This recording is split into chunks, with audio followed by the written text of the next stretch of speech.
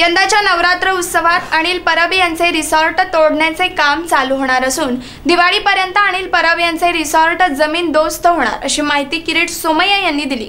यंदाच्या नवरात्रोत्सवात अनिल परब यांचे रिसॉर्ट तोडण्याचे काम चालू होणार असून दिवाळीपर्यंत त्यांचे रिसॉर्ट जमीनदोस्त होणार.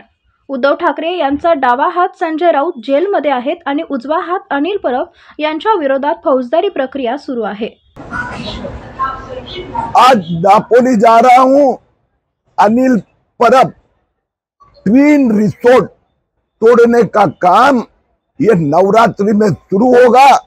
दीपावली तक अनिल परब के ट्वीन रिसोर्ट ज़मीन दोस्त हुए होंगे। उद्धव ठाकरे जी का left hand Sanjay Raut jail में है। राइट हैंड अनिल परब के ऊपर फौजदारी प्रक्रिया प्रारंभ हो चुकी है। Bureau report SBN Marathi Mumbai.